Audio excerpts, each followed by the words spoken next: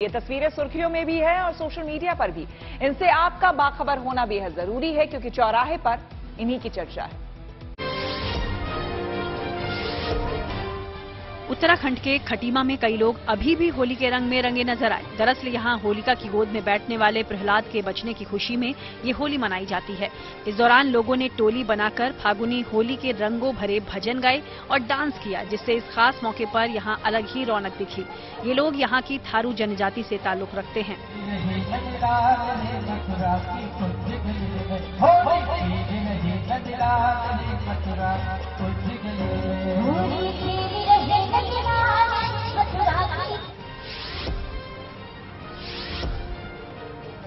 राजस्थान के पाली में नवरात्र के मौके पर कुछ छात्रों ने भगवान की झांकी लगाई। इस दौरान उन्होंने मक्के और बाजरे समेत दूसरे मोटे अनाज का भी ज़्यादा से ज़्यादा इस्तेमाल करने के लिए लोगों को प्रेरित किया। साथ ही इनका उत्पादन भी बढ़ाने का संदेश दिया।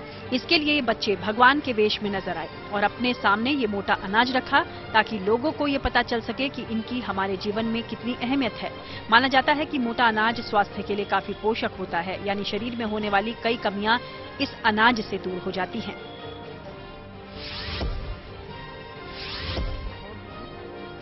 यूपी के संभल में अपने कद और शादी की वजह से सुर्खियों में रहे मोहम्मद रेहान के घर में एक नन्ही परी आई। उनकी पत्नी ने बेटी को जन्म दिया, जिसके बाद मिठाई बांटकर ये खुशी मनाई गई। रेहान का कद साढ़े तीन फीट है, जबकि उनकी पत्नी तहसीन की लंबाई तीन फीट है। बताया गया कि तहसीन और उनकी बेटी पूरी तरह स्वस्थ हैं। इस खास मौके पर उनके परिवार में खुशी का माहौल है। मोहम्मद रेहान पिछले साल तब सुर्खियों में आए थे, जब उन्होंने अपने कम कद की वजह से शादी नहीं होने की बात कही थी। हालाँकि फिर जब सोशल मीडिया पर उनकी शादी करवाने वाली अपील की खबर फैली तो रामपुर की तहसीन के साथ उनका निकाह करा दिया गया। गुजरात के गिर सोमनाथ में एक शेर का कुत्तों और गायों से बचकर भागने का वीडियो सामने आया। इस वीडियो में दिख रहा है कि ये शेर गाँव में घुसा।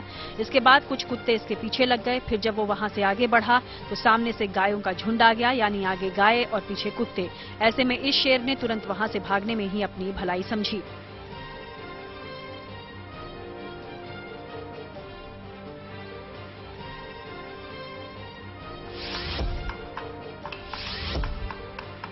यूपी की मैनपुरी जिला जेल में महिला कैदी आर्टिस्ट बन गई। दरअसल यहाँ एक जिला उत्पाद योजना के तहत मैनपुरी ज़िले को मुख्यमंत्री योगी आदित्यनाथ ने तारकशी उद्योग में सेलेक्ट किया था।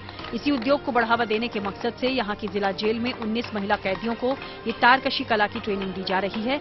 इसमें पीतल, तांबे और चांदी की तारों के ज़रिए लकड़ी पर अलग अलग कलाकृतियाँ उकेरी जाती हैं। इन कैदियों को ये ट्रेनिंग मास्टर विनोद कुमार शाक्य दे रही हैं, जिन्हें तारकशी हस्तकला में राष्ट्रपति पुरस्कार से भी नवाजा जा चुका है। आने वाले दिनों में इन कलाकृतियों को सार्वजनिक कर इनकी बिक्री भी करवाई जाएगी।